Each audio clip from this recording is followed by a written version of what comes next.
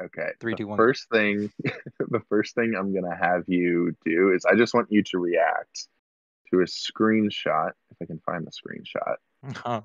on my desktop. uh, and I want you uh, read, if you could, read aloud the second and third headlines. This is a screenshot of like a Google News type of thing. And I just put it in the chat. Read the second and third line, second and third headlines. Um, okay, wait one second. Check. All right. Uh, which headline? Okay. Uh, The second and third. Sailors are looking for new ways to ward off orc attacks and say blasting thrash metal could be a game changer. and we got from Huff Post. Ooh. Orcas pummel boat after crew tries to deter them with heavy metal music. Didn't work. yeah. Well, I will note that, like, if you read those two stories, uh, as I did, they uh, they are basically both the same story. Like the Oh, first yeah. story admits that it failed, but the headline was obviously, "Dude, this could Something be a game else. changer. This could totally work." And then they admit Love- to you in the article, it does it does not work. Dude, Have all these uh, Orca stories were so uh, right on time. I know, right? Like that was one of the first things that I was thinking about. I was like, "Oh, the orcas are attacking." There were, uh, uh, I, I think apparently, according to those articles, there were like the attacks are increasing. There are fifty. There were fifty-five attacks, recorded attacks in 2020, and last year, because we don't have complete n- numbers for 2023, but last year there were 207. Oh shit! They're increasing. They're Oh, learning. hell yeah, Orcas. Um, and I know that's a bit of a, you know, misnomer to start off because orcas are fake whales. They're actually dolphins. Yeah, this is uh when uh the cetology stuff starts. Uh, fucking Ishmael kind of shits on all the other whales, and Yeah. uh, some aren't aren't good enough. They're not whales. um, and so that that was my my fun little uh that that's what I was thinking about in my real world. Uh, apparently, like the apparently the uh the popular theory going is that uh the the orcas see it as a like they see it as play when they're bumping into these ships. Hmm.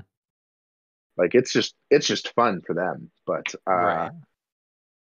uh, but I like to imagine that there's something more sinister. Yeah, that they've like dialogued and they're like organizing attacks. and that we deserve it most of all. Oh yeah, that too. Or you know, the people in those boats deserve it. Anyone with a boat deserves to have their boat sunk. It's kind of an Wow. axiom, I think. Well, Yeah. you know, an expensive boat. I see. I mean, most boats that are around nowadays are expensive. Yeah. That's probably true. Uh, them. so Fuck boats. We got planes now. solidarity. Who needs them? Solidarity with our orcas in arms. oh, the orcas. Yeah, somebody's got to Uh, write a new book about orcas now. Oh, they did. It's called Free Willy. Wasn't that a book? I don't know. I don't know. It was a movie, but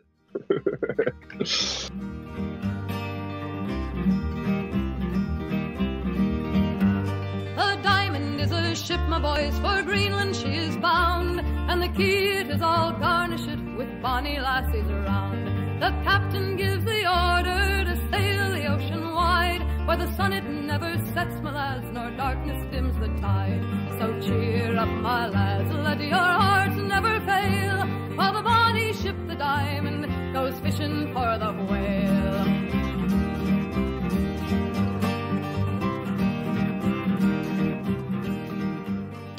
Oh. Okay. Now let's get into the actual uh, uh, book discussion. talk about some real whales. Yeah, uh, Luke, welcome again to our uh, second. Uh, at this point, it's an annual podcast, Whoa. the books you haven't read podcast, where uh, we uh, we don't try too hard. I think is the tagline. Theme song. Bum, bum, ba-da, da, da, da. I think I'm gonna actually put like a sea shanty in as the, as Hey, the oh, opening be music. Uh, something about the Tillerman, something. You're thinking about the Wellerman. Oh, Wellerman. Uh, there once was a ship named Billy of the Sea. No, no, I'm gonna play Bonnie Ship the Diamonds because it's about whaling. Um, okay, so let so yes, welcome to the Books You Haven't Read podcast, the only podcast where uh, we um, don't care too much, but also we do love the listeners. Thank you, listeners, and we're the only one, the only Uh, one. yep. Uh, and by listeners, of course, I mean viewers because this is YouTube exclusive here. Oh, yes. And they're going to be looking at what image? Uh, I don't know. Maybe maybe the the well, no, I can't use the Discord image. That's for a different video. Did you like my Discord channel image? yeah, I do. I, I couldn't quite tell what it was. It's some AI art for uh that I tried to get the AI to make for uh like if one of the books that I read was a rap album mixtape. Looks pretty That'll sick. be a little teaser for anyone listening. Um okay, Luke, uh what book did we read? We read Moby Dick or The Whale by uh, Herman Miller. His name is Herman. Herman Miller? Herman? It's not by Herman Miller, Luke. Oh my god. Oh my god. Oh my god. Herman Melville. Jesus. yeah, come on, it's a way worse name than Miller. Tiller. Herman, I Herman- got I got the Tiller stuck in my head, dude. I'm thinking about Tillers. I read I read that part where uh You're where you're thinking Ishmael's of Henry talking Miller about for sure. Yeah, yeah, yeah. Uh, first off, Herman, terrible name. Melville, terrible name. Herman Melville, kind of an epic. Awful. Well, okay, Oh. yeah, yeah. I, I see it. Together they make it a little cooler. In, in in who chose this book? Um, I don't know. I think fate because that's what it felt like. I think technically I chose it in the context of our Yeah. conversations, but uh, I feel like the way that it fell into my lap and the time that it did is like most Well- books I read was like, oh, was, How did it- dad. how did it fall then into your lap? Had you, like, stories. Gotten a copy of it recently. Had you been thinking Well, about it?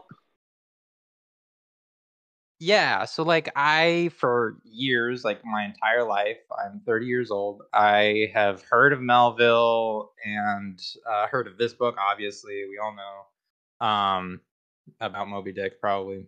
Um, and and I have been it's been slandered for me like so many times in my life. I've heard people be like, "Oh, the big long boring book about whales." and like it's too masculine it's like boring it reads like a, a shit manifest and and like all this shit just people kind of uh making it sound like a lame book so i like never really even thought about trying to read it because it didn't seem worth it and wasn't in enough fancy lit classes to uh Can you have to read it. remember like the first time that it that this book came on your radar? Like how early? Just the first time I actually cared about it or like heard about it and cared about it was in undergrad. It was like the weird fixation of like a whole uh, percentage of the lit uh, branch of our, our English department. Like there were so many other students that were like obsessed with the book. And and honestly they also turned me off of it because they were just like weirdly obsessed with it, man. and I get it. It's a real big book. You can be in there for ages. But uh but yeah, there was like specifically like one girl that did her thesis on it and she was like really into it and uh and always talking about monomaniacs, which I thought was funny.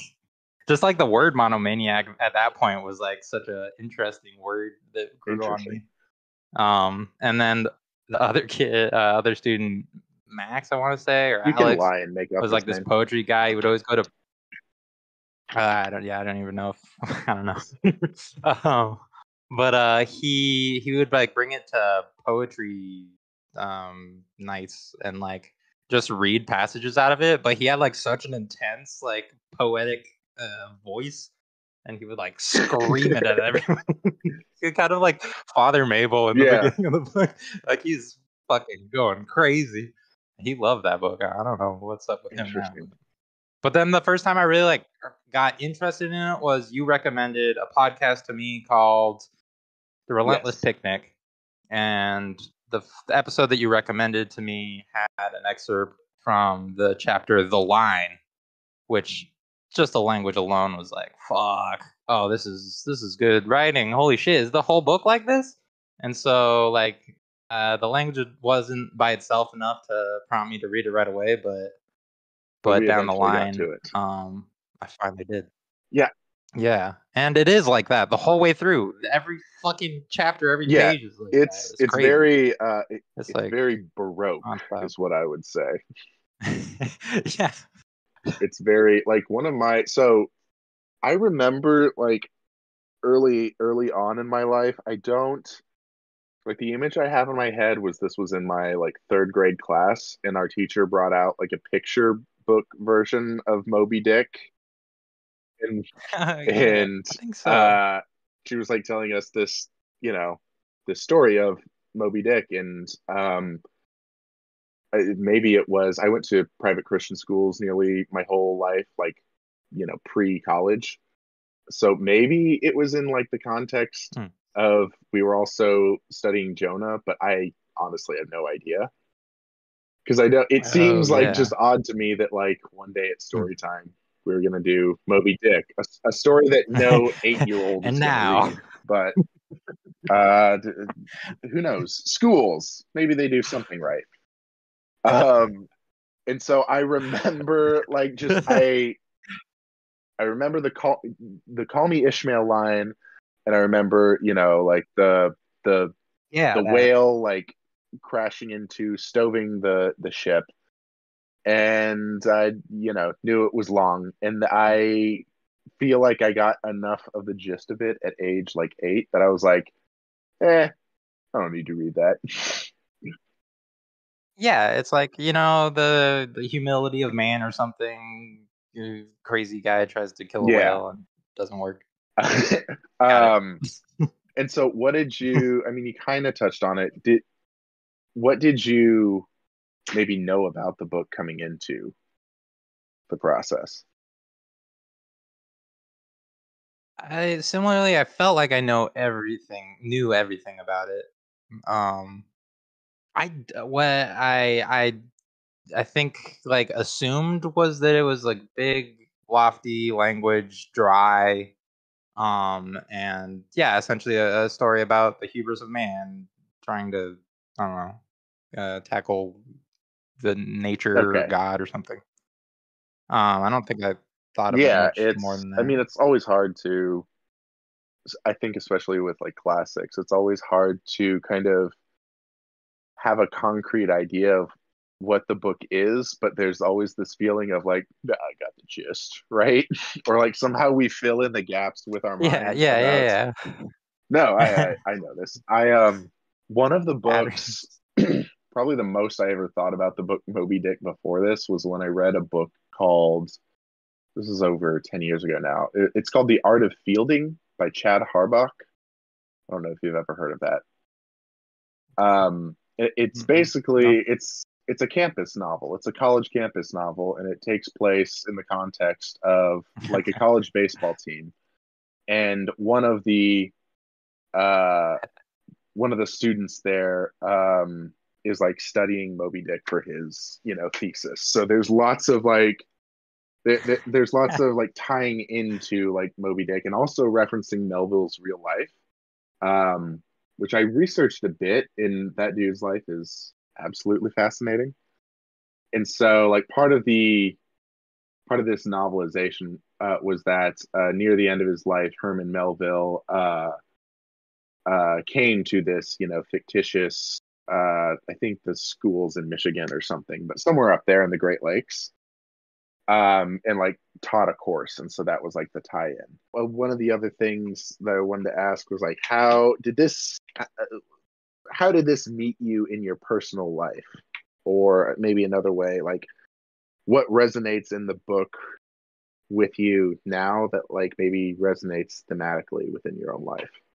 Right. Well, I think like the first thing that struck me about the book, like that broke all of my previous impressions of it, even the excerpt that I'd heard, the the line excerpt, which is like uh, it was like cool language, very deep. There's so much weird. Like he's he's just like uh, every other the paragraph. Ishmael will like go off onto some rant about like the the whole cosmos and every man and oh my god it's it's so big.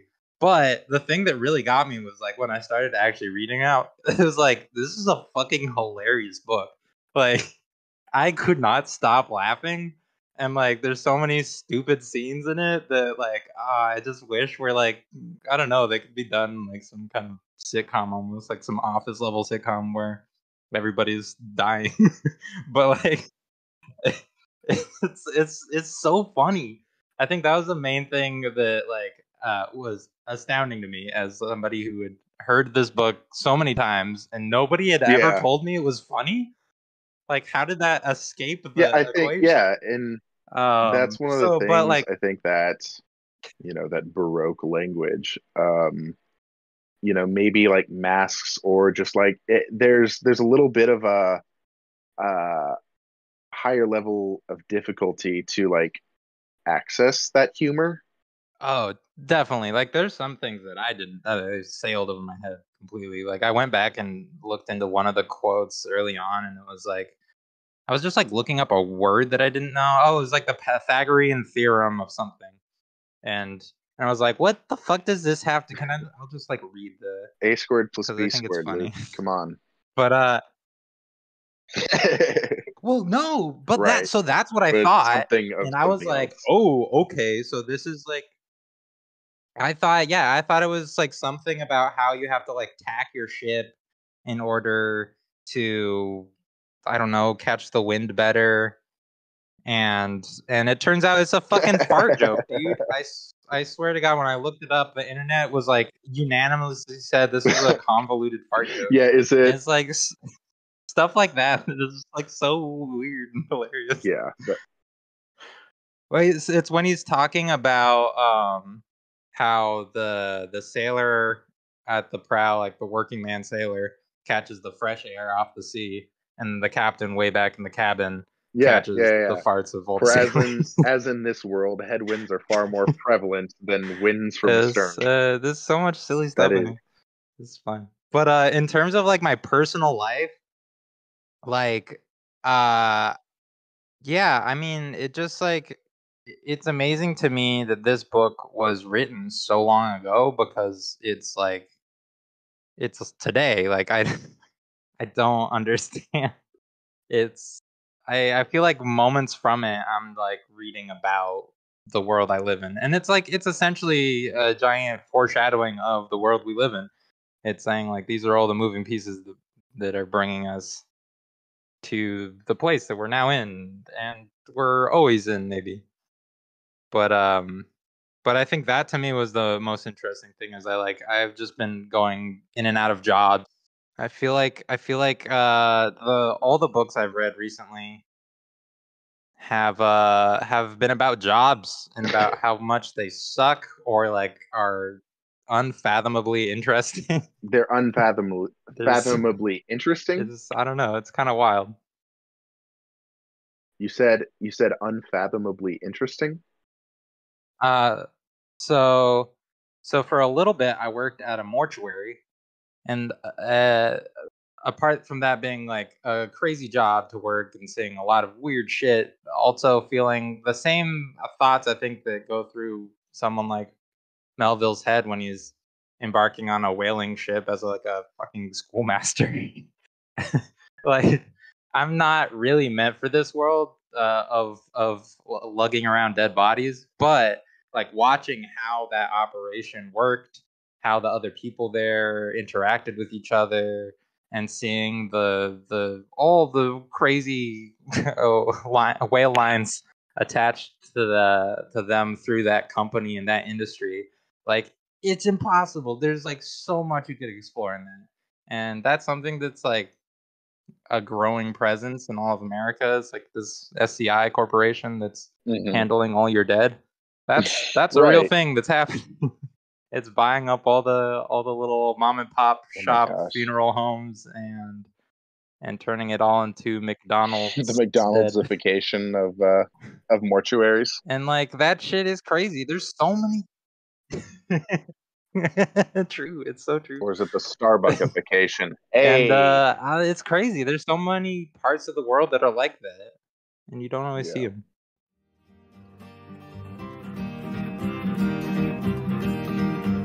Along the quay at Peterhead, the lassies stand around with their shawls about their heads and salt tears running down. I'll never weep, my bonny lad, though I'm left behind. For there's not a rose in Greenland's ice to make you change your mind. So cheer up, my lads, let your hearts never fail. While the bonny ship, the Diamond, goes fishing for the whale. since we're getting into the uh, uh, I don't know, kind of the capitalist, uh, the, the the talk about work and labor and capitalism that I think we're both interested in. Um, Yeah, for sure. one of the things that I found really fascinating because I um, came across like a bunch of different like biographical, but also just historical stuff about kind of the time and place this uh, was written in. And one of the things I found fascinating was that whaling was the fifth largest sector of the economy when this book was written. And then by the end of the century, by the end of the 19th century, 19th? Yes, 19th century, it was like virtually gone from America. Yeah, it disappeared really fast. Yeah. And apparently, like, uh, apparently, according to what I read, half-assed internet research, so take this with however many grains of salt you want. Um, the the like common myth is that like, oh, um, you know, basically we got all our needs from like from like actual oil, like stuff coming out of the ground, and we just transferred to that. Um, but apparently, like whaling went on Right. like really strong in several other company or in sev- several other countries rather um uh throughout the world until like the middle of the 20th century and the i think they said like there were 1.1 million sperm whales they estimated like at the beginning of the 1800s and there's like 300,000 left today. Oh so so uh, uh job done. Job well done. And apparently the uh the reason that like america gave up on it is because They're still there. yeah i you know what? We didn't completely eliminate them.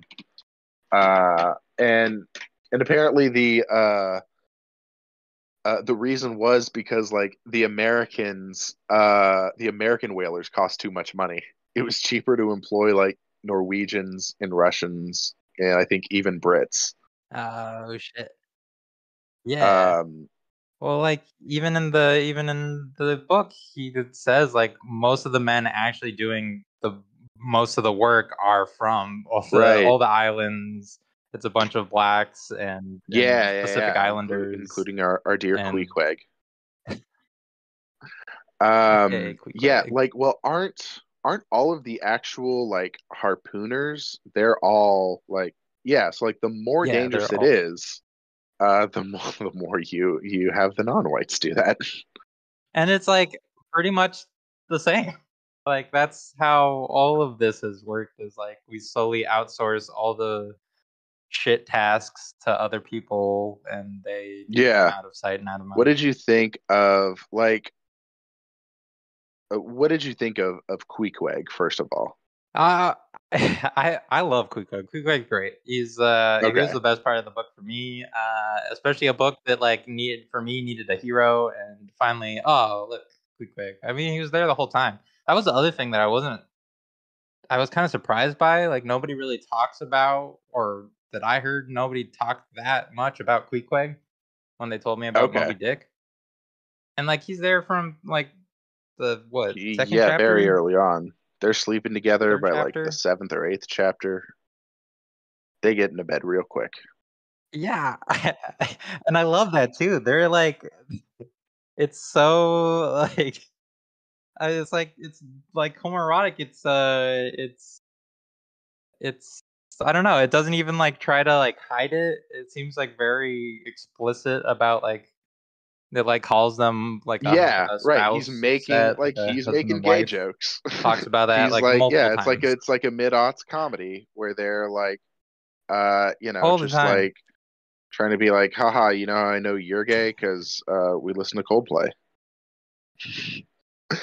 um, one of the things that I thought uh, was interesting about Queequeg is that he is like Ishmael tells us he is like uh he, he's basically a prince from wherever he comes and he is like here like he so desperately wants to get to America Right. that he's like I will take the shittiest hardest most dangerous job that you can give me And he also does it in the craziest way. He just like uh, like canoes up to a, a a boat that's like going by his island, right And just like sneaks on board.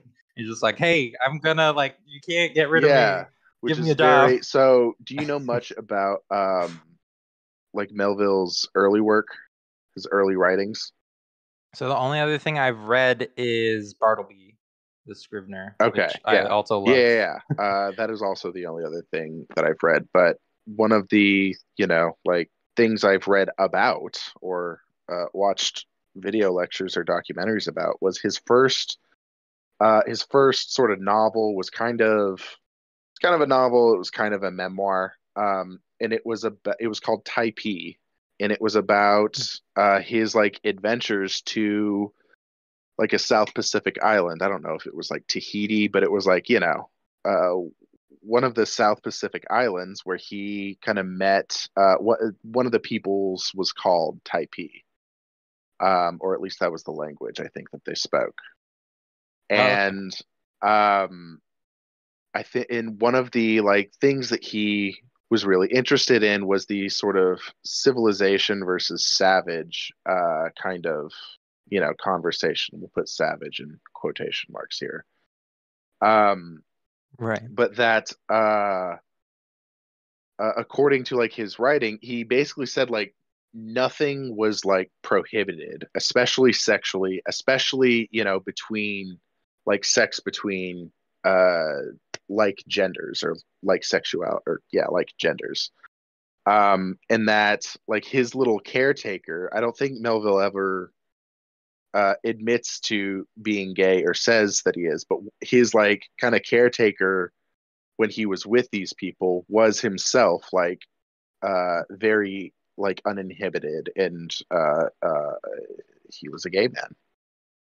And so um, I wonder if like I you tell me what you kind of thought um because you were kind of touching on it, but I I wondered if like a lot of the the homoeroticism was kind of um like it was obliquely hinted at but like you know melville didn't want to necessarily write that stuff down is there is there actual like homosexuality being hinted at but just not like explicitly being written in I I I think it's like twofold. Like I think I think in part it's that. Like I don't think he's trying to hide the fact that like I, I, I think he's very brazenly trying to show like, oh, this is the kind of relationships we form just by the nature of being Yeah. on a ship with a bunch of dudes. I'm sure stuff like that happens all the time. I've heard about it in every connection with sailors that I've, that I've heard of. Um, but uh, but I think it's also like, you know, like he just like starts talking about that stuff so early on in the book, and and like you mentioned, like he's done this in previous novels. This is he's speaking to some experience that he's had of indigenous people, and I think he's trying to affront the the reader of that time and say like, like I don't know, like what the what is this? What is what is this relationship we have with each other? And and show the sweetness of it too. Like he doesn't yeah talk about it as as uh debauched stuff. He's talking about just like a friendly conversation almost or like a uh, a love that's uh, very uh, it's like as much uh, a physical thing as it is like a just like spending time with a person you care about at I don't know like one in the morning in bed smoking a pipe. I like I I don't know. Like I think he's he's trying to open in some way the the hearts of whatever world that he. Yeah, I mean, I, I'm sort of asking this question to be, you know, provocative. I feel like every, you know, like I feel like it's very common in university studies to kind of queerify whatever you're looking at. Um, like you want to look at. Oh, yeah. like, okay, like what, like especially stuff in like this the 19th century, um, when it it it feels like there's almost more of a level of like repression around it um or institutional repression that we Yeah. want to like kind of uncover and sort of uh bring to the fore like actual uh when is like homosexuality being hinted at but like on the other hand i think it's always this struggle of um are we trying to queerify what is just like uh uh i guess like male intimacy that uh itself you know kind of because we are trying to queerify it where we're we're taking out like the reality that like sometimes dudes just want to cuddle.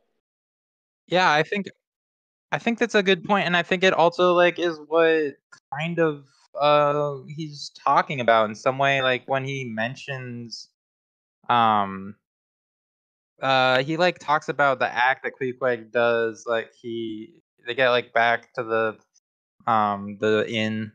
And they're like talking. They start to become friends, and then like it clicks in Queequeg, and he's like, "All right, I'm ready. Let's go." Where he like gets out his coin purse and like throws down all his money and like gives Ishmael half of it. And and there's just like a like a deep part of his culture that that has taught him that this is the thing that you do when you trust somebody Yeah. in this way. And and like he's not he's not necessarily talking about the like in the in the realm. I mean, uh, like the I guess queerness as like a as a um academic field study Uh, yeah department venture yeah field w- doesn't exist in that Yeah. time in the same way maybe. Um but but i think what what he's showing is like in the engine and this experience he's had with all these indigenous people like they, they there's there's something at play here that was presumably at play in many cultures across the world before you know the birth of what is now western civilization there's like things at play that don't fit into our vocabulary and our culture yeah. that like nowadays we have names for and they don't really respond to that. Like the the need for intimacy in one's life is not something that started with our language as it is now or any part of our culture or society. Like that was primordial and happened a long time before we came up with all these definitions yeah and i it's interesting and the that you- definitions don't really serve it Well, and it's interesting that you bring up like um you know like certain languages uh don't work for us because in that um in like the scene in which they're going to bed together like uh one of the things that struck me was that Hmm. Ishmael was like uh he he uses the lines I was a good Christian born and bred in the bosom of the infallible Presbyterian church. Um and he basically is like okay so like what's the right thing to do here? Like uh should i or i guess they're they're praying to like Queequeg's uh little yeah he's they're praying to Yojo. yojo. And he's like well i can't do this because i'm a good christian. But what is a christian if not Yeah. you know essentially the golden rule? And am i am i going to treat this? Yeah.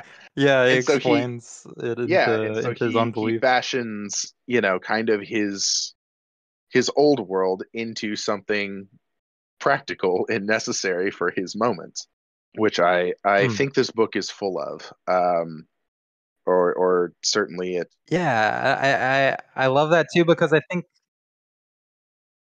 I think that Queequeg is kind of doing the same thing in the relationship. Like they're both meeting in the middle of whatever beliefs they have.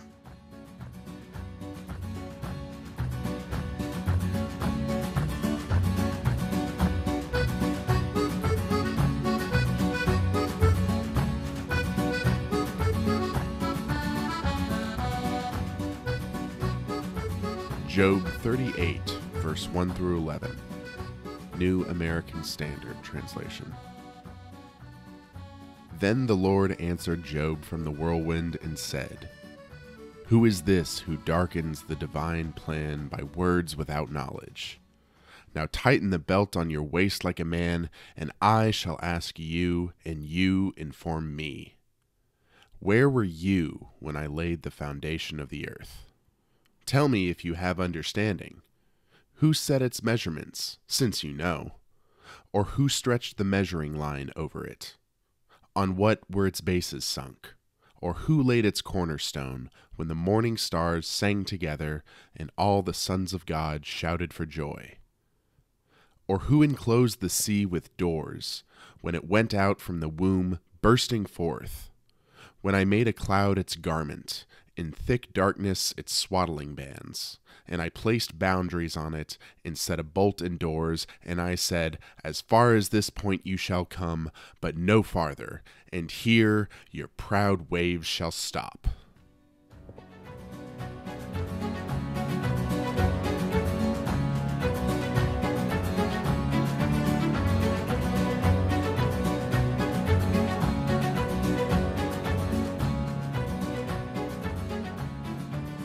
Um, what did you think of the uh, uh, of the Father Mapple uh, sermon?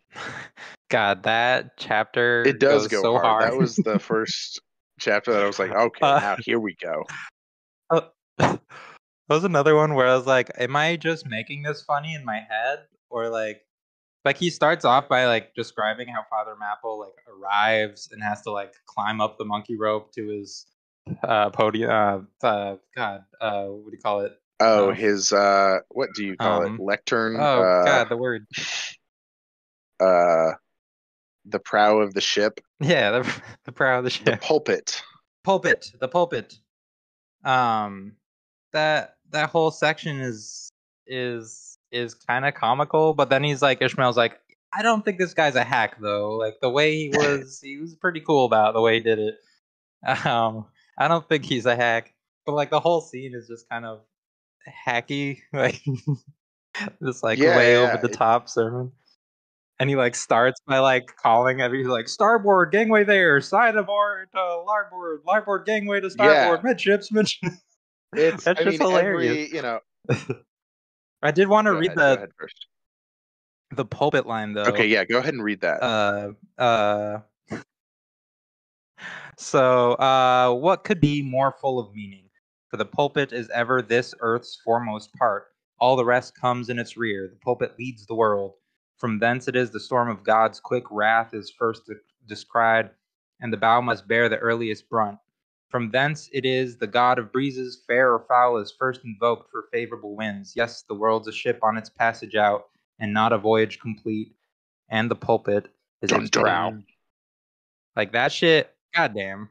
Yeah, God it's damn. um. Uh, speaking as someone who has spent a fair uh, amount of time in churches, right. um, there is like yeah.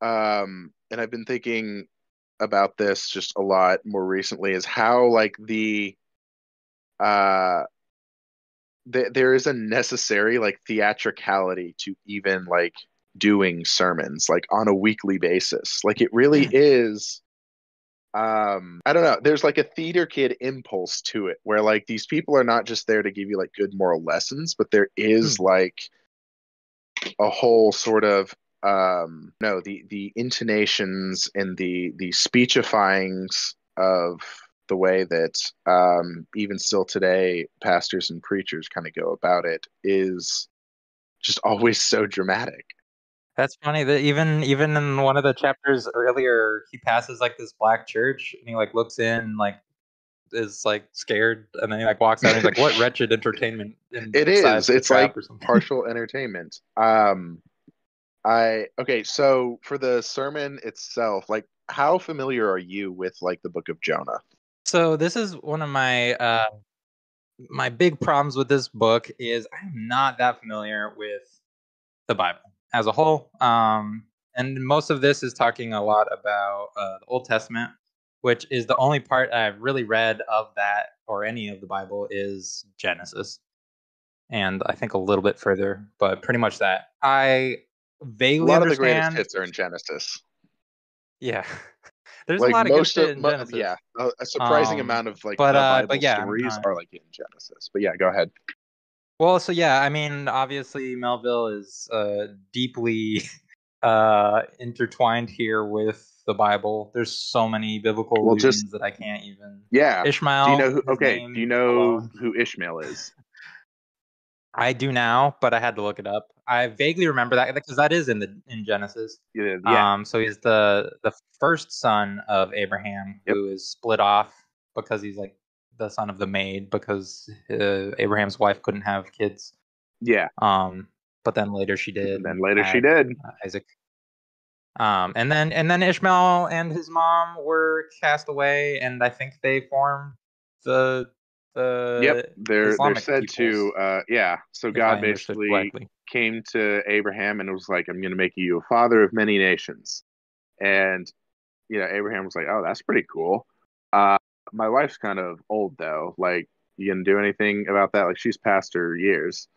And God's just like, dude, just trust. And so it gets, goes on for like, you know, a little while. And Abraham's like, I'm not, I'm not trusting God. Uh, Sarah, what are we to do? She's like, oh, take my maid. He's like, done gets her pregnant. Then God's like, "You idiot! That's not what I meant. Why didn't you just trust?" Uh, and so he's like, "Okay, well, here's the deal. At the very least, he'll be a nice guy. I'll make Ishmael the father of many nations too, as well." And uh, you know, obviously, everything ended up um, really good after that, and there's been no strife between Muslims and Jews ever since. Oh, uh, I think I, I don't know. Like it, it, in some way, to me, I didn't really understand why Ishmael in that sense So compared to the Ishmael, book. Um, other than the fact that he's kind of Ishmael is this like single part Yeah. of this. Yeah, exactly. He's like this uh cut off part of the, yeah, the it's like story, it's but that goes on to breed great nations. He's yeah. they'll hear His book Exactly. exists. and and we're talking about it. We are truly the Ishmaelites of the 21st century. Allahu Akbar. but back to Jonah. Uh, can you tell me more, like uh, what you uh, what you know of the story? Um, I all, only knew that Jonah was the guy that got eaten by a whale and then spit up by That's that's what he's famous for. Uh, do you know? I didn't know yeah, why. you- could you or pick up meant, from the book yeah. like why he was like eaten by a whale? It's okay if it's no. Yeah, so he tried. I I think I think the the way I read it was that he was scared. Like he felt the need to be as as Mhm. Father Ma- Mapple, uh, the voice of God on earth, like some kind of uh uh priest Yeah, prophet. uh voice of God. Um, yeah, prophet. And and he was like, nah, fuck that, dude. I'm going halfway across the world, and God's not that big, so he ain't gonna follow me there. And doesn't work out. He gets Yeah, eaten by a whale. And the, while he's in the whale, has the coming to Jesus moment of being like, okay, I will voice, I will say your words, and and then does. yeah, he does. He's basically God tells him, uh, go to Nineveh, the capital of the Assyrian Empire, uh, which is you know probably like conquered Israel at this point, and go preach about me. And he's like, uh, no, that's scary. Uh, I'm gonna go the opposite way. God sends. Uh, it's actually called a great fish, and there's many a spilled ink over whether it was actually a whale or a fish that uh, Jonah was swallowed by. Uh, and then he gets uh, spit up, and then he goes to Nineveh and he preaches the word, and he kind of hates it. and uh, I think he maybe, I think he like maybe gets a couple. Well, yeah, he's he like kind of hates it. like Jonah is kind of a moody bitch. I will be honest. he like he's constantly saying he doesn't want to do what God tells him to, uh, and then he like I'm pretty sure he leaves like Nineveh early, but at least he doesn't get killed like he assumed he would. But then when he leaves, uh, he like finds Nice. this tree and he really loves it. Um, and then I'm pretty sure God like kills it at some point. And Okay. there, there's it's a very short book, and the swallowing by the whale is only like one of the chapters.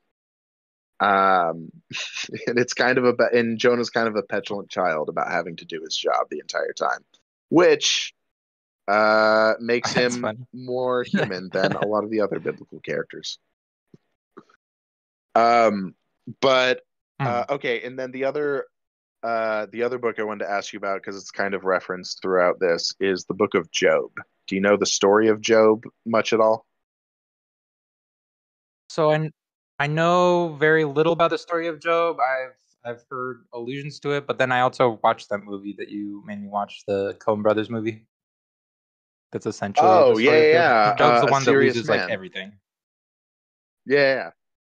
Yeah, I like that. So I know that story, and and, uh, I get the yeah, general. the story is so the reason I bring these two kind of books up is that they sort of form um, kind of opposite moral views. So that like Father Mapple and Captain Ahab, they kind of adhere to like um, Hmm. a more Jonah version of kind of God in nature and punishment, and Ishmael has a more kind of Job like uh I don't know, like uh, understanding of the world.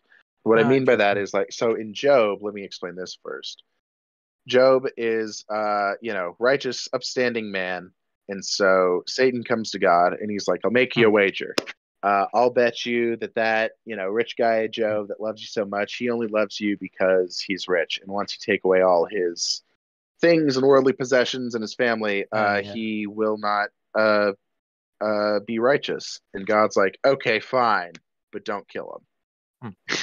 and so and so Hold my beer. Satan, you know, like so there are you know huge calamities that fall upon Job. He loses all his livestock, loses all his children, um, and uh, he gets like painful boils all over his skin that he has to scrape off with pottery shards. Um, and Jesus. then uh, basically the whole book. So that's like the kind of prologue. The first, I don't know, two or three chapters is like it gives you the setup of okay, here's the wager, here's what happens. Uh, after each succeeding calamity, a servant comes to Job and says, "And I alone have escaped to tell the tale," um, which is obviously echoed throughout throughout this Ah, book. okay. It's the I believe the epigraph of the epilogue. Yeah, final quote. and um, yeah, and then like most of the book from chapters like i don't know three or four or so to like 40 41 is like an epic poetry sort of Hmm.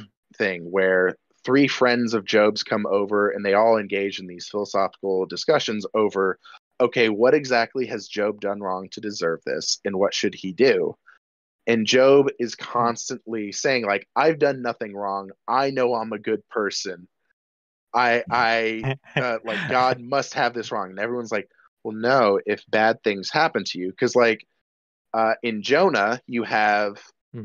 you know, the whale being sent. Like God sends the whale to eat Jonah, and therefore he uses nature to kind of exact justice or or his sort of vision of justice Right. on man. right.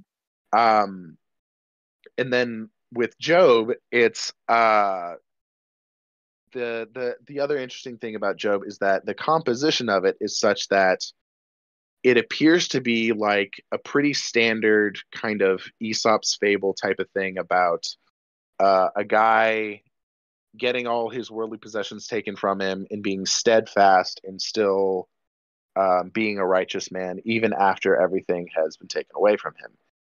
And so, like in the middle, it's kind of like split, and then there's this huge kind of epic poetry battle where these people are, you know, essentially like trying to have a discussion of why do bad things happen to us? Uh, why do bad things happen to good people? Mm. Um, and you can in some ways like imagine this as like a dialogue about why is Israel like we are faithful to God? Why is Israel always getting like overrun by surrounding empires and exiled? And well, what did we do to deserve this? Everyone goes around and like some people's opinions is like, uh, Job, you should like uh, repent for what you've done wrong. And Job's like, I'm not repenting for anything I've done wrong. I've done nothing wrong, and I'm standing firm by this. and other people are like, well, clearly God's an asshole, so you have earned the right to like uh, curse God, basically, and like blaspheme him. And he's like, well, no, I'm a righteous man. I'm not going to do that. Um, and so Hmm. the the story comes. It's a really it, it it's a really like hard book to kind of reconcile with because of one because the composition of it makes it that like obviously there were some unresolved issues over sort of why bad things happen and so they put in kind of this later poetry stuff in it that's like epic and kind of some of the best writing in the bible the moral worldview basically at the end of the book god comes down in the whirlwind and um he has have you ever so you're a terrence malick fan right Uh, more or less, yeah. I like some. uh, have you seen tree of life yes. uh okay so the epigraph for that movie comes from job and um okay. the the the line in there is that uh like where were you uh when i laid the foundations of the earth um and god basically comes down like job Hmm. challenges god like okay why what makes you kind of what exactly is your system of right and wrong of what am i being for what am i being punished all this stuff and god basically comes down and says Hmm. uh you know motherfucker i made this whole thing um, I've made these beasts like uh, Behemoth and Leviathan. Leviathan was obviously a huge word in the book. Um, Hmm. And at least at the time of writing Moby Dick, Leviathan was understood to be commonly understood to be the whale. Now I guess it's understood to be like kind of like a crocodile or a dragon. Anyway, a large and terrifying beast, um, Hmm. nonetheless. And God comes down and says, uh, uh, uh, basically obliquely admits that uh, morality is not inherent in creation. That some things, these terrifying and uh, uh, awesome creatures, exist that are of no use to man, and yet, you know, God has created this um, vast and intricate uh, world of of creation. And um, anyway, by the end of the book, Job's like, "All right, this shit is pretty dope. I'm sorry. I repent uh, for like ever doubting you." And then he gets like twice, and then he gets like twice his stuff back. Oh, nice. Hey, baby. everything gets restored. Like the moral worldview that the that the book of Job is trying to express is one in which like those answers to justice are ultimately inscrutable and unclear. And so uh, questions of why Hmm. questions of evil and why bad things happen are unanswerable. Um, and in order to understand them, you would have to be kind of the creator himself, God himself. And so when we talk uh, about like kind of the Jonah versus Job view of things. Like the Jonah view of things is, uh, you know, God uses nature, sends these vast creatures to, to uh, as punishments. They are at His whims.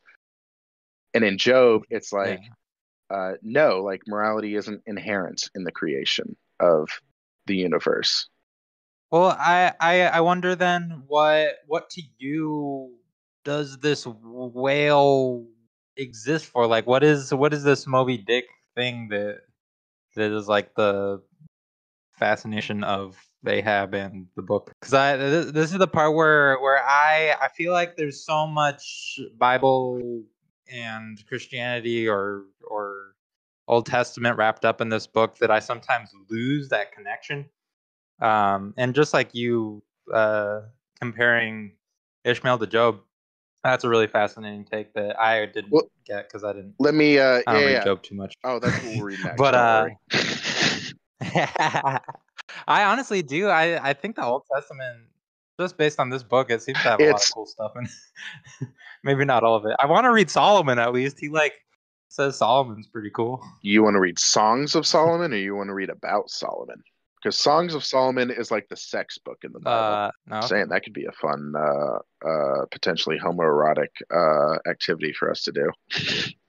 Um, no, okay. Let me get to. let me get to. Uh, this is from chapter forty-two in Moby Dick. Uh, this is called. Uh, I'm going to read kind of the last paragraph, but this chapter is called "The Whiteness of the Whale," and this is like where we get Ishmael's kind of most direct thoughts on like what the whale kind of means.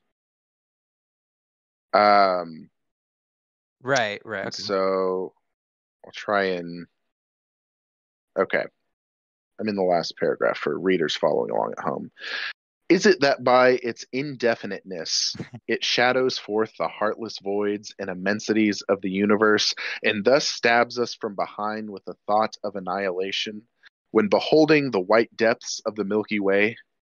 Or is it that as an essence, whiteness is not so much a color as the visible absence of color, and at the same time the concrete of all colors? Is it for these reasons that there is such a dumb blankness, full of meaning in a wide landscape of snows? A colorless, all color of atheism from which we shrink? And when we consider that uh, that other theory of the natural philosophers, that all earthly hues, every stately or lovely emblazoning, the sweet tinges of sunset skies and woods, yea, and the gilded velvets of butterflies, and the butterfly cheeks of young girls, all these are but subtle deceits, not actually inherent in substances, but only laid on from without, so that all deified nature absolutely paints, like the harlot, whose allurements cover nothing but the charnel house within. And when we proceed further and consider that the mystical cosmetic which produces every one of her hues, the great principle of light, forever remains white or colorless in itself, and if operating without medium upon matter, would touch all objects, even tulips and roses, with its own black tinge. Pondering all this, the palsied universe lies before us like a leper, and like willful travelers in Lapland who refuse to wear colored and coloring glasses upon their eyes, so the wretched infidel gazes himself blind at the monumental white shroud that wraps all the prospect around him. And of all these things, the albino whale was the symbol. Wonder ye then at the fiery hunt.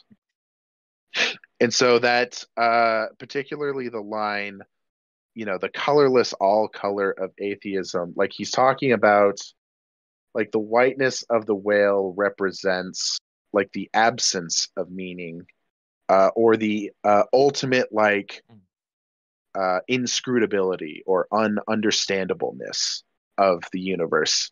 And Yeah, because to me, when you talk about Job, that's what that's what it sounds like as well. Like the whale. Yeah.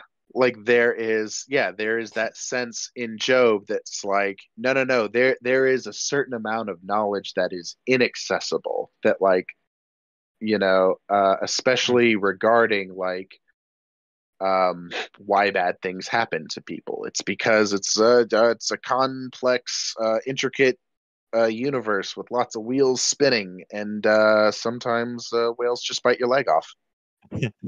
and line, whale line everywhere. Um I like I like that. Uh, I also I also feel like uh, just in that talk about light, uh, I keep finding little bits in the book about light and the power of light, and it's impossible to to like dissect the idea of light from the the fact that the whale itself is like this oil that is used for light yeah, that he yeah. and and there's like so much about uh the he's just like kind of again i think like multiple times he like uh tells you like oh like all these people are breaking their backs so that you in your home in england can sit at night Yeah. by a lamp and Yeah. read this book maybe it's uh the uh and I'm sure this isn't an original point, but the uh the the whalers reminded me of like the modern day coal miners who were like uh, like Oh, it, it sure, is yeah. itself like coal specifically within the fossil fuel industry is very much like a dying industry um but it's like uh this brutal like hard work that just destroys your body um and yet uh, a common refrain you hear um from like miners is like i mean we've been providing you energy kind of thing like don't you know don't come at us because Yeah. this is like an Yeah. awful like you, you you were in on it too you just didn't have to get your hands dirty um but uh yeah uh tldr job is the uh the best uh book in the bible This is so interesting to me because Because uh, you're it uh reminds heathen like queequeg like that specific. Yes, yes, uh, yeah, well, definitely. Which also I wanted to. Uh, I'll I'll say this first. Uh, when Queequeg describes why God makes the beast, he says this fucking awesome line. Uh, where he says, "The God what made shark must be one damn engine," which is fucking great. I love that line so much because it's like it's like when you're looking at it that way, there's no great answer that can be had about why bad things happen or a creature like a fucking shark that'll eat like. I think they at one point he describes like a shark that's half eaten itself. It's still trying to eat its like own bits and boobs. yeah uh, like. dude i love the taste of boobs crazy shit in the world. um, but like, uh, yeah, that's uh, that that god is one damn engine. Um, but what I was gonna say before is the the quote that you just read, the Job piece, is uh weirdly similar to uh the Bhagavad Gita when Ar- Arjun uh oh, okay is talking to like the I think it's Vishnu yeah who's also mentioned in Moby Dick. Um, and and Vishnu is like he tries all these different things. He's like giving him reasons, like oh this is why and this is why, and then finally he's like, look this is why, dude. I fucking made everything. Look at me. And then he like shows him like the godhead and and like in his maw the entire cosmos is being devoured and it's fucking crazy. And then Arjun's like, okay, well uh that's a good point and I'll do my job. it's like oh But it, it's it's a similar invocation, the, the way God talks versus Vishnu. is this the uh the the oppenheimer now and become death moment? yeah, yeah. Honestly, I yeah, think it yeah, is. yeah. Okay. Very awesome. Um, Good old that's yeah, that's very. That's another thing that I very much want to read is the Bhagavad Gita. Uh, we did like very small amounts in a world literature class that I was in, but it honestly it just felt like the teacher gave us cliff notes and was like, "Here's something you should be aware of, but it's not really going to be on the test." Yeah, it's a that's an interesting book too. I like. I feel like it's. I don't know the thing that you said about um about Job The like, there's like there's two parts, and the second part is like uh just like poetry, epic yeah, poetry, like the two composition parts. One's an older piece, one's a yeah newer. Yeah, Yeah, so like Ba- the Bhagavad Gita was kind of like that, where like think as a whole, it's a addendum to the larger text of the samsara, whatever. What I, I don't, I don't know the Vedas. The Vedas, yeah. Did I get it right? And Yes. it entails this problem, maybe. Uh, and it entails this problem. Nobody look like, that up. We're just going to assume I'm right. No, yeah, no, gonna- no, no smarmy uh, corrections in the comments, please. This is a fact-checked free podcast. yeah, everything is wrong. Everything that you've heard is wrong. But everything that I say Um, that is recorded is actually true now. That is how you make truth. Is you record a podcast about it. That's the world we live in. but yeah, uh, I don't, I don't know. It's interesting that those both exist as like addendum texts, where it's like trying to convince people, like, you know, you just gotta you gotta lay your head down and just get get to it. yeah. Um. Okay, let's see. Uh, we should move on. To... I, I wanted to uh, add to kind Go of ahead. wrap this back into uh, talks about the industry of whaling and capitalism. yeah, yeah, yeah. we kind of got away from what this book describes, because I think the like for me like the religious part and the capitalist or like larger picture uh, examination of the whaling industry, they kind of like always sit hand in hand, especially as he's describing the whale hmm um so like uh, one of the one of the whole is like a ch- sequence of chapters that like really hit me where he talks i think it starts with um oh damn it where does it start it starts with him talking about oh there's there's two whales heads on the on the boat they got a sperm whale and then right they get a whale, right whale yeah. because of of some kind of equilibrium that it'll somehow fetch Yeah, they don't want it to tip over to one side, right? yeah Yeah. yeah and uh and so then he goes like into examinations of each of those heads Yeah. um and so it's this whole section that starts first the sperm whale's head then the right whale's head then the battering ram the great heidelburgh tun which is just such a cool thing that exists and then it goes into cistern and buckets so like uh, i think the the the thing that was really interesting to me here is like when he describes first like he ridicules throughout the entire book the right whale the right whale is like Right. constantly spurned he's like it's an inferior whale Right, right, right, let's right. not even talk about it even though he does Let's it not talk about but uh Except if I can uh, throw some shade at it. Bitch ass whale. um uh but like let's see F tier whale is what he would rank it. there's just like fun little bits in here. Uh, is it not curious that so vast a being as a whale should see the world through so small an eye and hear the thunder through an Oh, ear which yeah. is smaller than a hair's? But if his eyes were broad as the lens of Herschel's great telescope and his ears capacious as the porches of cathedrals, would that make him any longer of sight or sharper of hearing? Not at all. Why then do you try to enlarge your mind, subtleize it? Just like little bits of fun little Yeah, wisdom. there's also um there's also a moment i don't know if it's in these chapters but when he's talking about the sperm whales he's talking about how you can never look a sperm whale like straight on into the oh, eyes yeah. because its Yeah, head is so so so massive big. like You're it's just crazy looking at a wall. their heads held like a ton of oil like one ton of oil up to like that much which is like insane to think about. Um It's one of the things in the book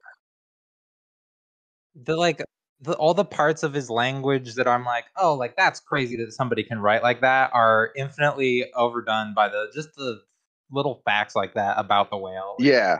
and the business of catching one. I'm like, this is just fucking crazy. yeah. Like the these creatures exist first and that people would decide to hunt them for oil is crazy. And insane. very profitable. No but the thing about um like like the thing about um um never look like the whale straight on that was another like sort of uh the mystery of the universe the mystery of god thing. Like you can never see the thing like straight on or it can never see you kind of straight on. You can't ever get like the perfect view of it. Yeah and i think that's in these chapters it's it's that. It's like he keeps talking about it from different perspectives. Like he focuses on the eye the ear the fact that it doesn't have a nose that it's a giant mass that he's he like goes in and talks about the heidelburgh tun which is like all that oil in its head. Yeah. And and and like and just describing the intense space that it takes up and then deifying it telling you like this thing is as a god among men. You cannot look at it in its entirety. You cannot conceive of it in its entirety. Yeah it's this great and then it tells that- you yeah, how he's- in like disgusting detail how they then destroy that thing.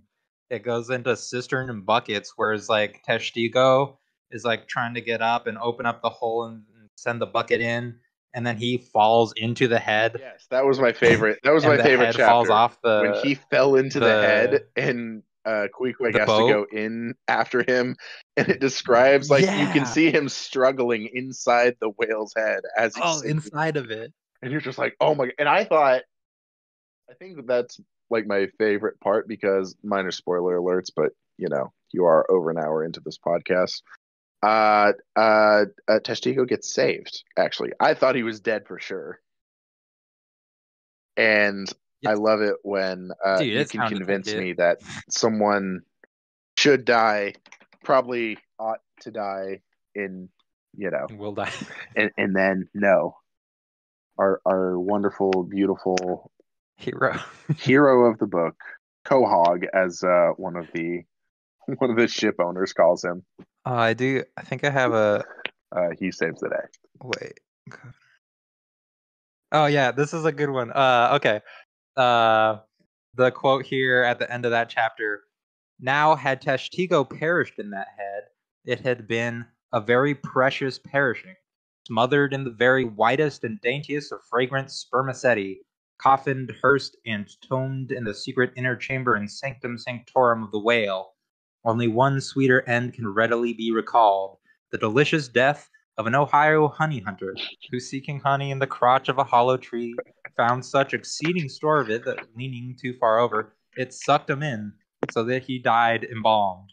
How many think ye have likewise fallen to Plato's honey head and sweetly perished there?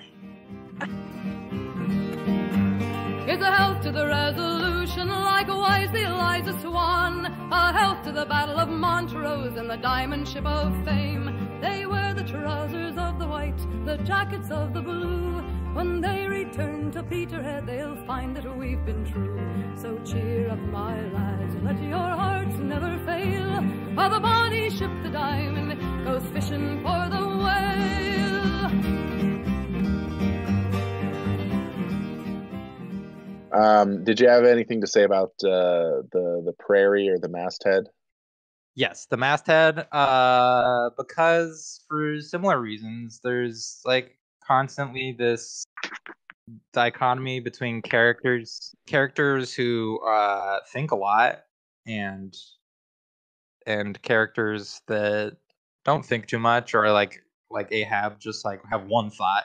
Yeah, the single undying thought. Um and so i just like the the parts where ishmael is talks about himself as a thinker but specifically the masthead um where he talks about you know himself as a thinker and other thinkers who have have uh maybe um spent too much time in thought or lost out on other things because of thought.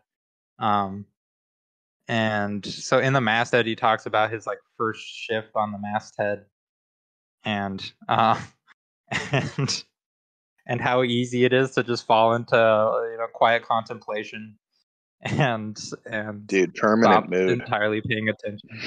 I know, right? And this is like also the stuff like the whole first chapter too, where he describes like uh feeling listless and needing to go to sea to fulfill some part of himself. Yeah, when it's like a rainy November Um, in his soul. yeah.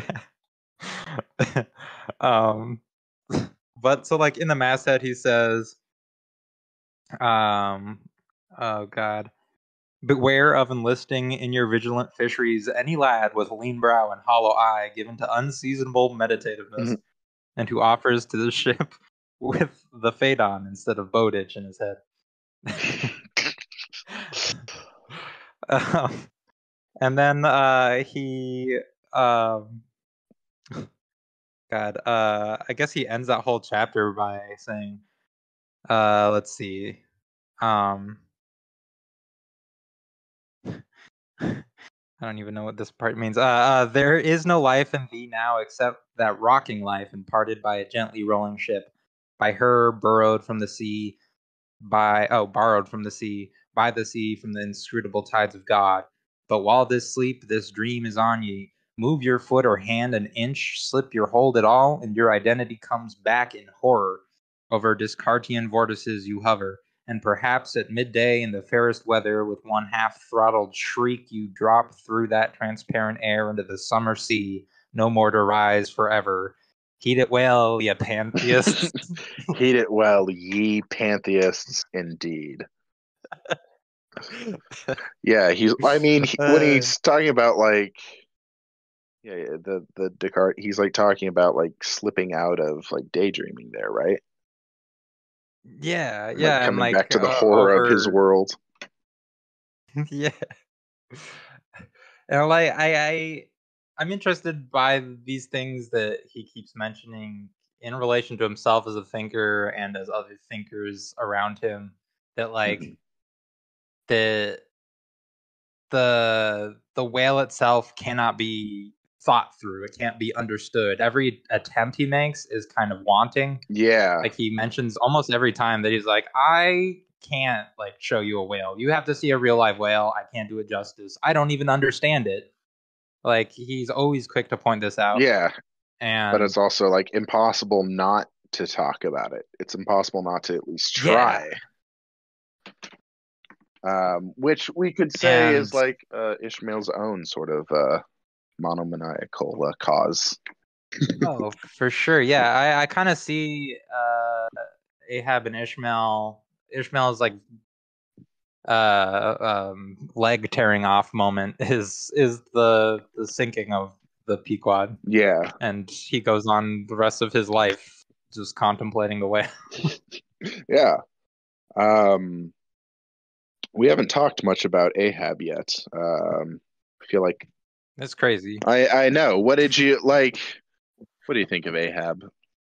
Uh, uh, Dude, smash every pass? word he says is so cool. Oh, smash for Okay. sure. I mean, he'd probably smash me, but uh I just love the way he talks. It's like uh, uh the lighthouse, watching the lighthouse. I just love Oh, the that kind of crazy speak shark. I think that's what uh Peleg says. You can't speak shark. Well, Captain Ahab like only speaks shark. He's a fucking shark if there ever was one.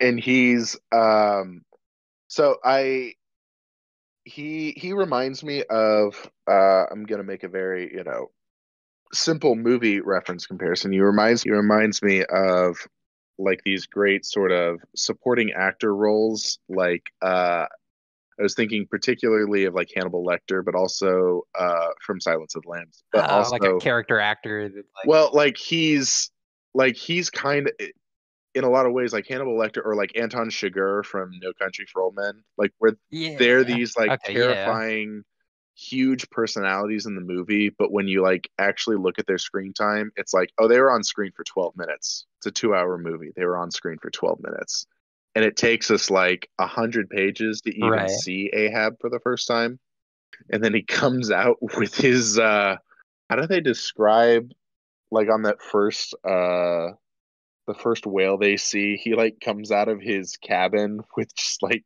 four random Oh, yeah, chinese guys or whatever i can't remember if they're actually chinese but like it's like oh yeah i've just got i'm just keeping some dudes in here Yeah, and Fedallah.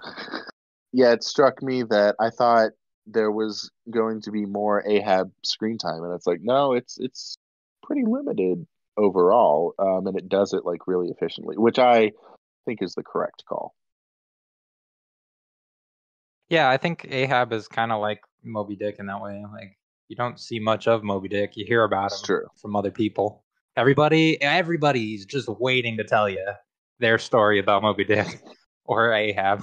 yeah yeah They're like I heard, and and yet you see them and they're just kind of scary. Yeah. Uh, like one of the sort of parallels that I was thinking about Ahab in real life is how, um, and this is definitely not an original point, but um, how like much of a demagogue he is, and how Mm. there's like tons of people like um, Starbuck for sure, uh, like straight up thinks he's kind of like dangerous and uh, bad to Oh, be yeah. around but he's also like too much of a almost coward like to- from the get go. yeah, yeah, from like the get go. And it, but he's like too much of a coward to like put a stop to it or you know try and mutiny or or whatever. Even though he's putting everyone's lives at risk and he's you know doing things against like the owner's wishes. And it's a very uh, uh one might say it's a a, a a very American thing to do, certainly at least when looking at these times. Yeah, yeah. I, I, I, think American, but also like I don't know. I feel like we're seeing a lot of, a lot of fascist-looking people rising in this day and age. Yeah. all over the world. like yeah like fascism is not unique to american but this is the great american novel but luke this so we no, can only no, talk it is, about- it is, and I. american things that's true. only America. Uh, I am in America right now as well. Um, so I think I the the the thing that makes it so interesting to me is that this I mean not that a book is ever gonna save the world or whatever. But like this was written so long ago and maybe I haven't seen the end of the world yet, so I can't judge. Um but uh but like this book was written a long time ago. It's it's received its acclaim eventually and and now it's like the great American novel, which is impressive for any book to be.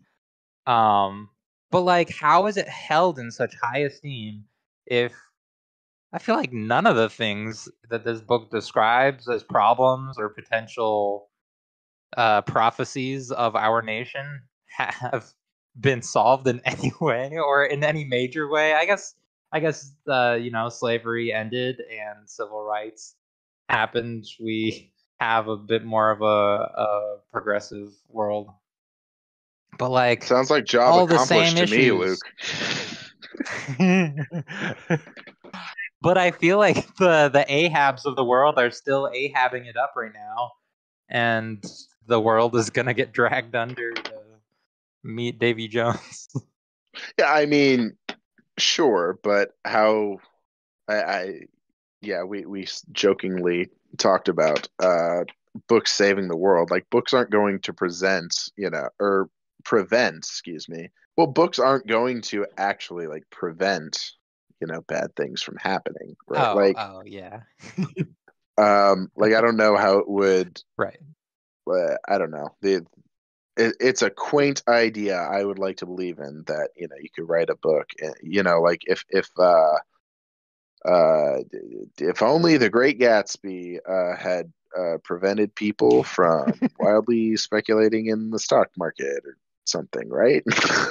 Like you know it's it's it's a lens through which maybe we can under like art is a lens through which we can understand things uh kind of after the fact um but we don't necessarily use it as a uh, a compass to avoid future things i don't know plus uh as you said Hmm. uh, uh early on uh th- this is an intimidating hard book with lots of big words No, true, and that people apparently are doing bad press about uh, almost everywhere I've gone. like it took me so long to even hear a good thing about Moby Dick, which is crazy. It's the greatest American novel. it, it, is it the greatest american novel to your mind I don't know. Oh come I on don't know. It you gotta have hot takes on this I would say it didn't move me as much as uh, other books that hit me, you know, in their time. But I am constantly flawed by it, or uh, not flawed. Uh, like uh, um, I'm constantly overawed in awe of it. Yeah, overawed by it.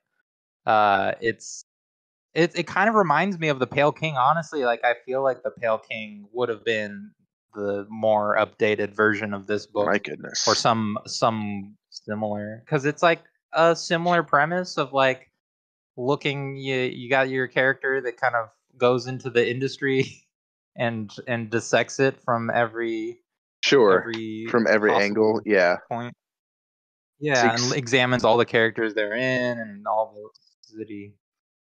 Interesting. So I don't know. Like there, there's other things that have done similar, and I think have been inspired by this book. Um, but I don't know that I've ever read a book that's this complete. Like I finished it and was like, "What the fuck? Like this is This has got everything this in it, the real deal." except for women. This has got everything in it, except women. Uh, which maybe is its most American aspect. Now, you know what I really um, thought about when I read this book, and even as I was reading it, I was like, "Oh, no wonder everybody compares like Cormac McCarthy to Herman Melville." like, I totally get it. I don't know how much oh McCarthy yeah, you've read, I could see that. um, but like, Not a ton, but I've read uh, No Country No Country for Old Men. and something else. Um, oh, The Road. yeah this book like like completely reminded me of uh of like blood meridian um which is often again Mm. not an original point but it's interesting how they're both like um uh they they both first off they take place in about the same time like i know blood meridian takes place in like 18 late 1840s early 1850s um Is Blood Meridian about? that one is about uh the Glanton gang. So the kid is the uh the main character and he uh signs up to basically he's like a 14-year-old kid and he signs up to be a scalp hunter with uh these other Oh, uh with with just this like gang of white people and they go out and you know oftentimes they're not like actually um because they're contracted by like little um i think both mexican and american kind of border towns Hmm. to go kill indians and bring back their scalps and then they'll get paid for their Right. scalps there's also this like terrifying there's literally a character in it called the judge and he is like a large like seven foot albino man. So yeah yeah yeah. Um it's it's very clear that it's in dialogue with uh it but this whole okay one of the really cool things that i discovered so uh blood meridian was actually based on a true story.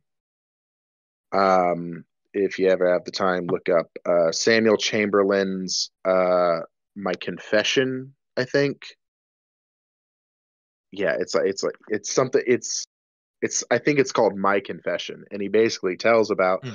because like a lot of times they wouldn't go out and kill like uh you know actual indian if they couldn't find any indians they they they'd find they'd Oh. find anybody and they'd Yeah. take those Anybody. scalps they, all they needed is the all they needed yeah. was scalps um and so Hmm. um it's a book of like you know great violence um and and you know obviously takes place within like westward expansion and a time of you know uh great historical violence uh but they're both but that book was um inspired by true events and then apparently this book was too not just like the author's like actual True events of his life. yeah not not just melville's like actual stuff that happened to him but there was uh a whale ship accident it was called uh, it's by a guy named owen chase and he writes about it in something called like uh the tragedy of like the whale ship the essex or something i don't know if it's tragedy but like Ah, yeah. there's a story about uh this guy that um goes on uh a whaling mission and he uh like the whale he's one of in one of the harpooner boats and like the whale like kind of uh shoves his head like stoves this stoves his little you know harpoon boat and they're like oh god we got to get back Hmm. to the main ship and so they like throw a bunch of the ship. they they they throw a bunch of like uh coats to the stove hole and they make it back and they're like oh we can fix it. And just as they're like kind of about to fix it the owen chase like looks down and this sperm whale like jumps out and breaks a hole into the ship. And within you know a couple minutes or whatever the ship uh, breaks down and it's gone. Um, and so they use like the last. Anyway, most of the narrative is actually about how they survive the next nine months after the, or not next nine months, Oh, three months, three Nine months, months. ninety days. Oh, even. Um, and but it takes them three months. They're like twenty five hundred miles off the coast of Chile, and it takes them three months Yeah. to to like get back. And so that was apparently sort of the the kernel of truth, uh, uh, the jumping off point that uh, Melville used. And I find it really interesting that these two sort of great American novels, one obviously Blood Meridian trying to, you know, very much be in in dialogue with uh, the other, uh, are both based off of these true events. Well, now I have to read Blood Meridian too. You really do. Everybody does. Uh, and he um, just like died, Luke. writing. Did he? Oh, He uh, died a couple months ago. damn. Sorry, Cormac. Cormac. Similar. Herman Cormac. No, Cormac McCarthy Weird is a much cooler name than Herman Melville. That. but Cormac by itself. Uh, Cormac. Yeah, it means king. I'm pretty sure. Oh shit. Yeah, and that's but Good for him. here's the thing uh he i forget what his original name was that was not his birth name that is like literally an author's name Okay. but um Dude, authors are tricky. No, I, I, uh, that's interesting to me. I, I, uh, I don't know how you write a book like this, except with some kind of real thing that happened. yeah But, uh, but it's very funny how like but it, real life events can be full of these like very of this, yeah, sy- symbolic like juice. symbolic storytelling and just like you know it, it it's like the orcas that we talked at the beginning it's like nature attacks back sometimes yeah, yeah, yeah, yeah. It, it's, it's a wild world we live in. Ooh, baby, This is- baby, it's a wild world. Ba-na-na-na. It's hard to get by. I also wanted to say, Yeah, you're- uh, you're I, I don't know my why I didn't say this You're earlier. interrupting my singing. Oh, sorry. Unbelievable. Sorry. I'm sorry. I'm sorry, cat Stevens. Go ahead. Go ahead with whatever your point is. Um, uh, yeah, my point does is does not deserve to be said. Uh, I just wanted to uh, shout out Chile, where I am, and how Moby Dick was a Chilean whale. Shout out Chile. Whoop, whoop. You got to get uh, you got to get Uh. him like a ceremonial like soccer jersey or something from your uh and, and award it to Moby Dick. I- He's probably still out there, right? I think so, and I think he was always there. Like uh, big old scary whale. like the Greenland whales can live to be up to like 400 years old, which is like insane. Don't even to tell me about the Greenland whale. Dude. Dude. I spit on right whale. well, it's uh, just too bad that they're like the oldest, the the the oldest heads, one might say.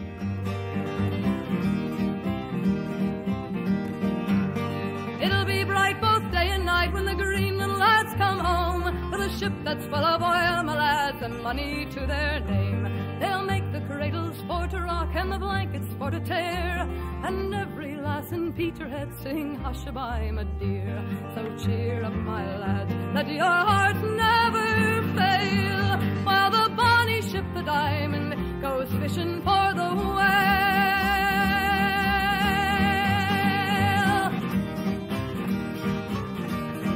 Uh, Luke, did the ending of this book shock you? I think the thing that shocked me the most is that he was so. It's like, I mean, he goes on and on and on. The whole book isn't necessarily concise, but the ending is like Ahab dies in a paragraph, Mm-hmm. and the whole ship explodes in like a few more paragraphs, and then and then the epilogue is just him saying, "Yeah, and I I survived on the coffin," and then he's like, "Peace out." I was uh, I was kind of amazed by that. I I thought it was gonna be just based on his other stuff, and his other parts of writing. It's like he'd have another two chapters to debrief and be like, oh, and then I write the land. Nah, he's just like that's the story. Boom. Nope. That's that's the Which story. Well, I well, I wondered with the I was very uh yeah, I wondered kind of uh uh, one, I wondered how much like people would, if people would, uh, get like the reference to the sinking of the whale ship Essex. Um, because like what happens in like the crazy stuff that happens in that book isn't actually that the whale like breaks their ship. It's Right. that like they have to resort to cannibalism at a certain point in order to survive. Shit, gotcha. and so I wonder, like, I have no idea how how much that would be sort of cognizant in the reader's mind, but um, I think we can. You know, this is a tale about the high seas. I think we can maybe uh, take it with a little bit of grain of salt and seawater. Um, he could be an unreliable narrator. And uh, I, I guess you know we're coming up on two hours here. What I really want to know, Luke, is uh, did Ishmael lie to us and actually eat Queequeg? Oh my god. Oh my god. Seems like the only answer can be I yes. don't- I- I'm being provocative. I'm if- being provocative. If so, then uh, Queequeg was like having a bad day or something. I don't think Ish could take Queequeg. I, Ish didn't ever sound like that cool or strong. Like he's a great yeah, writer. but he's the thinker. he's the narrator. He talks about stuff. He talks That's about true. the inner workings of Ahab's mind, which he has no access to. true, true. Uh, he talks about like scenes that he wasn't present for. You know, like stuff in time, yeah, Stubb's thoughts. Stubb's thoughts, Stubster. I yeah, I mean, I like to think he didn't because I like the bromance, the eternal bromance of it. But uh, I think it would also be uh, a fun uh, character arc for both Queequeg and Well, it's a Ishmael. yeah. It it was one of those like uh oh, I wonder if he's hinting at this kind of obliquely, like that there was that you know because of the source material, maybe there's some cannibalism, but also um you know per our earlier discussion, like is he hinting at some some explicit homosexuality that he's just not going to write because it's not it's not it it, it it it it's not kosher for the audience at the time. yeah, there there's so many things like that too that I don't know where he's like holding punches or even if like I'm not understanding the language correctly because I'm not of that time. He also just seems to be playing with language a lot anyway, so like Oh, it's very playful. playing with it. playing with language, playing with truth. And I think there's there's pieces like that. Like uh, the book that he presents you is in its own way like a whale. It's unknowable. Like he doesn't. The answers aren't always there. Even when he like says one thing, he means like three things at once. He's like making an illusion, tying it to another illusion, then laughing at all of it. Like also, oh yeah, like he constantly like something will happen, and then he'll like show you, oh, what did Ahab think about it? What did Stubb think about it? What did uh, I never remember his name. Uh, Full Fleet Fleet, What? Like he, um, the other other, the last of the Like the, third mate? Who's the uh, third mate? Heads, Flask, Flask. Flask. He like gives you everybody's thoughts on the thing. Yeah. and and like first of all ishmael clearly didn't know any of their thoughts second of all what does it mean that he's like doing all these pluralistic things that are like what is the truth there is no truth it's a it's like the the whole fucking thing about the doubloon where you're like everybody has their own take on the doubloon Right. and and and then uh, I think Pip says like the craziest things, like Dude, uh, R.I.P. talks to about how Pip. they're all looking at the doubloon. Yeah, Pip was Pip was the real one. Pip was the real one. Poor Pip. Just Pip. I feel like I was Pip. Like if I was in this situation, I was Pip all the way. Like maybe uh, instead of a tambourine, I had like a guitar, but Pip all the way. Um, I'm gonna die a Pip. hey, at least you'll die uh, singing sea, sea shanties. That's true. I can do that. Okay, Except apparently not because I don't remember. anymore. so let's. Uh, I I say we wrap this up by, uh, and I am gonna Oh. put you on the spot uh, about a um, what what on a scale of five, Luke. What would you give this book? And you can obviously use decimal points to whatever degree you want. uh, five being like the best book ever written. Yeah, five being American author. like uh, you know one of your I don't know five being like an all-time favorite. Doesn't have to be singularly the greatest book ever written. Yeah, honestly, I would give it a five. I love this book. Like, Is it a book you would reread? I really like his book. I would. In fact, uh, in doing this, I've already touched on like chapters that I had forgotten about and still need to reread because I don't quite know what happened. Um, and there's some stuff that I'm like, uh, you know, maybe I don't want to end up like the uh, undergrad students I met that were monomaniacally monomaniacally entranced yeah. by it, but uh, but uh, I do think it's a fucking sick book, and I am just as a as a writer, I think I could learn a lot from it of how to uh, attach big ideas without being too I don't know lame. Okay, I have some fun trivia for you.